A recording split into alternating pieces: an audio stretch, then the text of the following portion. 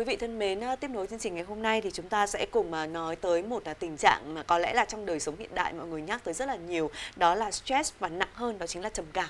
À, nếu như mà ngày xưa thực sự hồi còn nhỏ mình đúng là không có khái niệm gì về stress đâu, thực sự tuổi thơ của mình không có hai cái từ đấy ở trong đầu luôn. Thế nhưng mà càng lớn lên thì mình thấy rằng là mọi người nhắc đến nhiều hơn, nhưng bây giờ thực tế các bạn trẻ, các bạn lại nói đến stress rất là nhiều. Và mình thấy đôi khi nó thành câu cửa miệng kể cả với những bạn mà còn ở lứa tuổi rất là nhỏ, đôi khi các bạn con mệt quá, con stress quá mình đã từng nghe thấy những cái em nhỏ nói những câu ừ. như vậy bởi vì nghe người lớn nói nhiều và các con cũng nghĩ là ừ mình hơi mệt mỏi như vậy là mình đang stress lắm mình đang buồn lắm. À, nhưng mà cũng phải có một điều mà chúng ta thấy rằng là trong một thời gian mà mọi người đã nhắc tới rất là nhiều đó là stress đang ngày càng trẻ hóa và trầm cảm cũng đang ngày càng xảy ra nhiều hơn ở những cái bạn trẻ. Và đã có những cái bài báo họ nói rằng là à, bây giờ chúng ta đang có một thế hệ bông tuyết khi mà cái sức chịu đựng về tâm lý của các bạn có cảm giác là nó mong manh hơn Đúng và rồi. nó dễ vỡ hơn à, đó chính là cái khoảng thời gian mà chúng ta rất là đau lòng khi chứng kiến là rất nhiều những bạn đang ở tuổi thanh thiếu niên chọn con đường là tự tử lý do là gì? Lý do có thể từ việc là áp lực học tập, có thể là từ áp lực gia đình, có thể là sự đổ vỡ trong chuyện tình cảm, hay là đôi khi chính bạn ý đang không giải quyết được những cái mâu thuẫn bên trong mình. Nhưng mà rõ ràng chúng ta thấy rằng là từ những cái biểu hiện ban đầu thôi, nếu như mà chúng ta không có cách để đồng hành cùng với các bạn trẻ, không có cách định hướng, thì rõ ràng hậu quả cuối cùng rất là khôn lường và em nghĩ rằng là cái sự truyền thông cũng rất là quan trọng bởi vì thực sự em thấy rằng là uh, khi mà có mạng xã hội khi mà có cái sự truyền thông một cách nhanh nhẹn như hiện nay thì chúng ta thấy rằng có quá nhiều những cái vụ việc và đôi khi nó là hiệu ứng domino ừ. nghĩa là chỉ có một bạn uh, bạn ấy bị tự tử không biết là vì lý do gì cơ quan điều tra cũng chưa xác định được nhưng ngay sau đó chúng ta thấy rằng là một loạt những cái vụ tự tử kéo theo ừ. và có rất nhiều người họ nghĩ rằng là à cái người kia họ cũng đang ở trong cái tình cảnh giống như mình và họ đã tìm được cách giải thoát bằng một cái chết ừ. thì mình cũng có thể làm cái điều tương tự thì em nghĩ rằng là cái truyền thông cũng đóng cái vai, vai trò rất là quan trọng trong cái việc là chúng ta tìm hiểu ra vì sao cái nguyên nhân dẫn đến tự tử hay là trầm cảm nhiều đến như vậy ở các bạn trẻ. Cũng như là làm thế nào chúng ta định hướng để các bạn có một cái suy nghĩ tích cực hơn.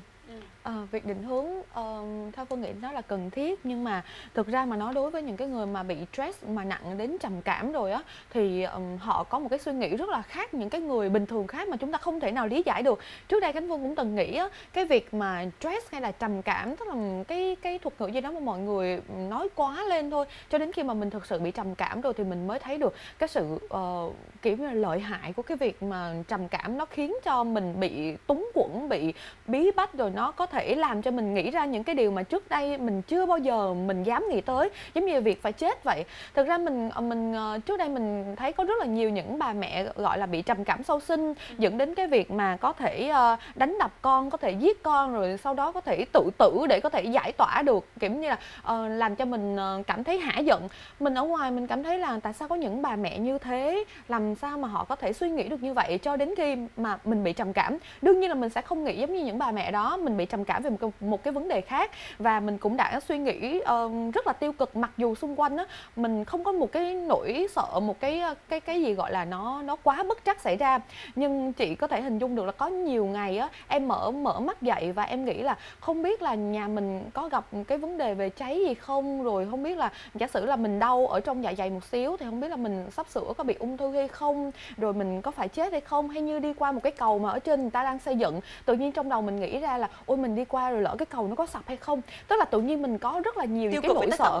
tiêu cực về tất cả mọi thứ và lúc nào á cái đích đến của mình vẫn là cái chết. Ừ. cho nên nhiều khi có có nhiều lúc mà mình cảm thấy là mình mình mình quá sợ hãi đến cái độ mà mình nghĩ đến là à có thể là chết nó sẽ là một cái cái cái, cái gì đó nó giải thoát cho những cái vòng ừ. suy nghĩ lặp đi lặp lại quá nhiều trong cái cái cái cái tư tưởng của mình. Ừ. và có một thời gian em phải dùng thuốc. Và khi dùng thuốc rồi á thì em mới thấy là cái việc dùng thuốc nó ức chế đi cái việc mà mình suy nghĩ theo hướng tiêu cực. Tức là thay vì một buổi sáng mình sẽ suy nghĩ theo một cái dòng vòng tuần hoàn giống như những cái tháng trời mà mình bị trầm cảm mình suy nghĩ thì một buổi sáng dùng thuốc uh, mình cảm thấy là mình chỉ cần mình nảy ra một cái suy nghĩ gì thôi thì trong trong đầu mình nó rất là mệt. Uh, và từ ngày này qua ngày khác khi mà mình dùng thuốc đương nhiên cái liều thuốc của phương dùng nó cũng là tương đối nhẹ chứ nó không phải là trầm cảm quá nặng. Uh, nhưng khi dùng thuốc thì mình thấy mình có hiệu quả thực sự. Cái lúc dùng thuốc thì bao giờ người ta cũng khuyên cáo là người mình sẽ rất là mệt mỏi rất là lừ đừ.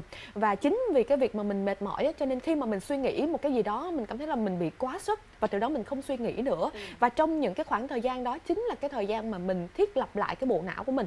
Tức là mình sẽ không suy nghĩ theo hướng tiêu cực nữa. Và khi tại vì mình có muốn thì cũng không được tại vì thuốc đã ức chế những cái suy nghĩ đó của mình rồi.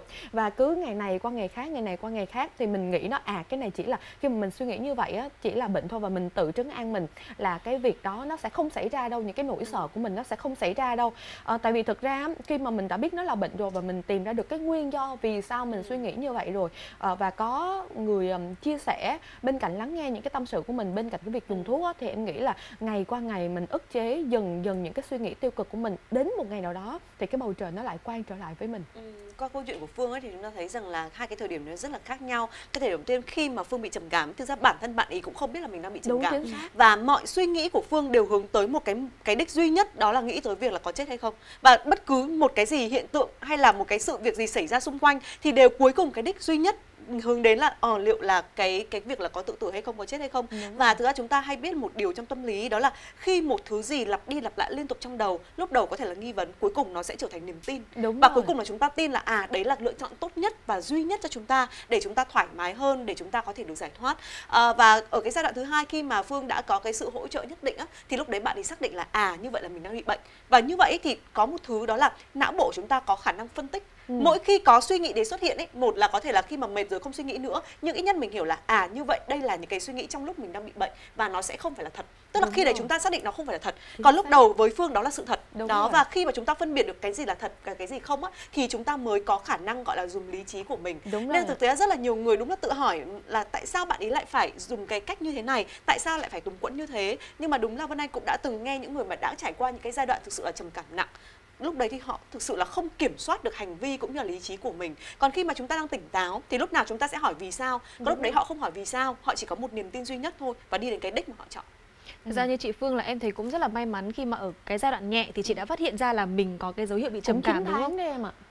Thực ra là cũng nhưng mà làm thế nào để chị không. phát hiện ra được là mình đang có những vấn đề bất thường về mặt suy nghĩ về tâm, tại vì tâm mình lý. mình cảm thấy là mình bị rơi vào trong những cái suy nghĩ tiêu cực đó tức là tự chị nhận ra được cái điều đó và Đúng tự rồi, chị và đi tìm bác sĩ ngày tâm này lý qua ngày khác và những cái người trầm cảm á phương tin là cũng sẽ có những cái cảm giác giống như mình tức là từ cái việc mà họ ở trên chín tầng mây xuống cái việc ừ. ở ở dưới họ cảm nhận mình ở dưới địa ngục á nó trong tích tắc luôn á tức là mình đang cảm giác là mình rất là vui vẻ nhưng mà mình chỉ cần lóe lên một cái suy nghĩ tiêu cực thôi mình nghĩ đến ngay là cái việc mà mình sẽ sắp sửa đối diện với cái chết hoặc là có những cái gì nó nó nó đe dọa trầm trọng đến cuộc sống của mình luôn. Cho nên nó một khắc có thể là mình rất là rất là vui vẻ rất happy nhưng trong một giây sau lập tức mình có thể trở nên rất là trầm mặc rất là buồn rất là kiểu như là mình có thể trong một khoảng thời gian luôn mình không có cảm hứng với bất kỳ cái việc gì hết. Vui cũng không cười nổi mà buồn cũng không khóc luôn. Ừ. ấy cho nên là mình cảm thấy là cái suy nghĩ của những cái người trầm cảm á thực ra nếu như bình thường giống như bây giờ khánh phương nhìn về cái khoảng thời gian đó mình cảm thấy là ồ tại sao mình có thể suy nghĩ được như vậy? Nhưng cái lúc mà mình bị như vậy mình lại không nghĩ ra được là tại sao mình lại bị như vậy và có một điều rất là quan hệ, rất là mật thiết trong cái việc mà đẩy mình đến cái việc trầm cảm, đó chính là cái sức chịu đựng giống như chị Vân Anh đã vừa chia sẻ. Phương thấy cái cái cái việc mà các bạn trẻ ngày nay á bị trầm cảm trẻ hóa. Nó cũng liên quan đến sức chịu đựng của chúng ta rất là nhiều luôn á. Ờ, cái việc mà lý do mà phương bị trầm cảm nó liên quan đến đến việc là mình có người thân mất quá đột ngột nên thành ra mình bị ám ảnh. đúng rồi bị ám ảnh về cái chết. Mình không nghĩ cái chết nó đến nhanh như vậy. Đấy cho nên cái việc mà cái sức chịu đựng của các bạn trẻ ngày đây nó nó thấp hơn so với cái các thế hệ trước là điều mà chúng ta không thể phủ nhận được. Và khi cái sức chịu đựng kém này rồi có những cái kỹ năng mà chúng ta chưa có hoàn thiện được. Uh, thì khi biến cố ập đến thì có thể là nếu như chúng ta vượt qua được đó là điều may mắn. Còn nếu như chúng ta không vượt qua được thì chắc chắn nó cũng sẽ rơi vào một cái vòng túng quẫn giống như phương. Và nếu như chúng ta không phát hiện kịp thời thì có thể là nó sẽ có những cái hệ lụy rất là nguy hiểm mà như phương đã chia sẻ rồi. Hầu như những người trầm cảm thì ít nhất một lần trong đời của họ từng nghĩ đến cái chết. Ừ, thực ra thì những cái điều phương chia sẻ khiến phương anh nghĩ tới bốn từ đó là sức khỏe tinh thần. Ừ. thực ra chúng ta luôn luôn nghĩ tới sức khỏe thể chất phải chăm chút nó phải bảo vệ nó. Nhưng rất ít khi mọi người nghĩ tới việc là hàng ngày chúng ta cũng cần phải chăm lo cho sức khỏe tinh thần của mình. Nó giống như việc là uh, khi mà covid đến ý, mọi người sẽ nâng cao sức khỏe để làm sao mà nếu như mà chúng ta có đối mặt với bệnh dịch thì chúng ta cũng có khả năng dễ dàng vượt qua và không bị biến chứng nặng. Thì sức khỏe tinh thần cũng như vậy. Đúng thực rồi. ra hàng ngày chúng ta cũng sẽ cần chăm sóc sức khỏe tinh thần của mình để nếu có biến cố ập tới chúng ta có sức chống chịu. Bởi vì nếu như mà chúng ta đang yếu ớt thì rõ ràng là biến cố ập tới thì chúng ta cũng sẽ bị biến chứng nặng và biến chứng nặng của tinh thần thì đôi khi nó cũng rất khôn lường nó giống như những cái biến chứng nặng của thể chất như vậy. Và thực ra là phương ở thời điểm đó thì nên theo góc nhìn vân anh và những gì vân anh hiểu về phương nó có rất nhiều những yếu tố để dẫn phương tới cái việc đó. Một đó là như phương nói đó là một người thân mất đột ngột. Ừ. thứ hai nữa là phụ nữ sau sinh rõ ràng chúng đúng ta rồi. có những áp lực và thể chất của chúng ta yếu nhá. Lúc này cũng kéo theo là tinh thần của mình cũng sẽ đi xuống. Đúng, đúng và một điều nữa đó là phương vẫn thay đổi môi trường. Lúc đó thực ra ở tuổi đời của phương còn khá là trẻ. Từ việc là từ nam ra ngoài bắc những cú sốc về văn hóa có việc là ở xung quanh không có quá nhiều người thân trừ đó là uh, gia đình chồng đó nhưng yeah. Dạ. mà rõ ràng là bố mẹ của mình vẫn ở xa nhưng mà ít nhất là phương có một may mắn đó là có chồng đồng hành Đúng bởi rồi. vì là rõ ràng ở những cái giai đoạn này thì những cái người thân bên cạnh mình rất là quan trọng. Đúng rồi và đây cũng là điều mà em rất là muốn chia sẻ thêm đó chính là cái việc mà chúng ta những cái người mà trầm cảm á, điều trị bằng thuốc chỉ là hỗ trợ một phần thôi quan trọng phải là có người lắng nghe. Bởi vì khi á, nhiều khi á, mình chia sẻ về những cái suy nghĩ về những cái nỗi sợ của mình á mình nhận trước luôn à anh chỉ việc ở cái trên cái vai trò là nghe chia sẻ thôi và giả sử mà trong lúc chia sẻ có những cái mà cảm xúc nào đó nó bị tiêu cực quá thì anh hãy nghĩ cái đó là cái bệnh thôi. À, chứ không phải là thực sự con người của mình muốn nói như vậy. Và trong cái lúc mà chồng mình chia sẻ thì cũng rất là cảm ơn luôn tại vì nhờ có cái người đồng hành cái người mà lúc nào cũng chịu lắng nghe mình chia sẻ như vậy cho nên cái quá trình điều trị trầm cảm của mình nó diễn ra suôn sẻ hơn. Ừ. thế em mới nói rằng là chị Phương là một người rất là may mắn bởi vì ừ. ít nhất là bản thân chị cũng tự nhận ra được rằng là mình đang có những cái vấn đề Đúng về mặt tâm lý. Và cái thứ hai là trong cái quá trình mình điều trị thì có những người thân ở bên cạnh mình để có thể đồng hành và hỗ trợ cùng với mình. À, thế nhưng mà đối với các bạn trẻ hiện nay thì em thấy rằng là vì sao các bạn lại bị trầm cảm nhiều như vậy? Ví dụ ở cái độ tuổi mà đang ở độ tuổi gọi là dậy thì mới lớn đi thì các bạn sống trong một căn nhà và gần như là không có bây giờ đẻ rất là ít bố mẹ đẻ rất là ít thậm chí đẻ rất là thưa nhau thì đôi khi là cũng không có anh chị em để mà chia sẻ về cái câu chuyện đấy. Còn bố mẹ thì các bạn nghĩ rằng là bố mẹ đang ở không một cái thế hệ hoàn toàn khác và rất là khó có thể hiểu được mình. Rồi là lớn hơn một chút nữa đối với các bạn sinh viên chẳng hạn khi mà các bạn đi học xa nhà như vậy thì cũng có thể là ở một cái đất nơi đất khách quê người những cái người bạn xung quanh ở cùng một căn phòng trọ đấy nhưng chưa chắc đã có thể hiểu được mình hết. Rồi cũng không có ai để chia sẻ và chính vì thế mà có rất nhiều những cái vụ việc đáng tiếc đã xảy ra. Thế nhưng mà dù gì em nhìn một góc tích cực thì em nghĩ rằng là hiện nay có nhiều cái vụ việc mà mọi người nhắc nhiều tới stress hay nhắc nhiều tới trầm cảm hơn thì cũng là một cái cách thức tích cực để chúng ta lạc quan nghĩ rằng là à chúng ta đã bắt đầu ý thức được nhiều hơn về cái vấn đề sức khỏe tinh thần. Và những cái vụ việc đó cũng khiến cho chúng ta một lần nữa nhìn lại bản thân mình để mình có những cái cách thức uh, mình sẽ gọi là kiểm soát cái cảm xúc của mình một cách tốt hơn cũng như là tìm được những cái sự trợ giúp tốt hơn từ phía bạn bè và người thân. Và trước khi đến với phần bàn luận tiếp theo thì chúng tôi cũng rất muốn quý vị khán giả một lần nữa chúng ta sẽ cùng nhìn lại thực trạng trầm cảm hay là stress ở những người trẻ hiện nay đang diễn ra như thế nào. Phòng hỗ trợ sức khỏe tinh thần ký túc xá Đạo Quốc gia Thành phố Hồ Chí Minh. Mỗi ngày, các chuyên viên tham vấn tâm lý tiếp nhận từ 5 cho tới 6 sinh viên đến nhờ hỗ trợ. Phần lớn các áp lực sinh viên gặp phải xoay quanh việc học hành, thi cử, gia đình và những mối quan hệ xã hội nam nữ. Nhiều em trong số đó phải đến các cơ sở y tế điều trị chuyên sâu. Ra gia đình ừ, bắt đầu một cuộc sống tự tự lập á, thì uh, các bạn sinh viên sẽ cảm thấy hơi bị lạc lõng giữa xứ người. Có một số vấn đề về tiền bạc nữa. Có những trường hợp mà bị xích mích và cô lập ở trong lớp á, khiến những người đó bị co, co lại trong các mối quan hệ. Theo thống kê của Tổ chức Y tế Thế giới, có khoảng 25% dân số rơi vào tình trạng stress và có phổ biến cao trong nhóm sinh viên. Báo cáo của UNICEF cũng cho biết có ít nhất 3 triệu thanh thiếu niên Việt Nam gặp phải các vấn đề về tâm lý, tinh thần, nhưng sự can thiệp của y tế cũng như các hỗ trợ cần thiết chỉ tiếp cận được khoảng 20% trong tổng số. Một khảo sát được thực hiện trên địa bàn thành phố Hồ Chí Minh cũng cho thấy 6% dân số bị mắc chứng trầm cảm và có xu hướng trẻ hóa với sự gia tăng số người mắc trong độ tuổi từ 15 cho tới 27 tuổi. Có những trường hợp nếu chúng ta không có thể mà can thiệp kịp thời thì các bạn sẽ sẽ rất là nguy hiểm cho các bạn. Có có những bạn là có đã có ý định tự sát hay là đã tự sát nhưng bất thành thì những cái trường hợp đó chúng ta phải can thiệp một cách ờ, đúng đúng mức và kịp thời thì chúng ta có thể giúp đỡ được các bạn. Ngày càng có nhiều người trẻ đang phải đối mặt với áp lực trong cuộc sống mà không được chia sẻ, không được lắng nghe.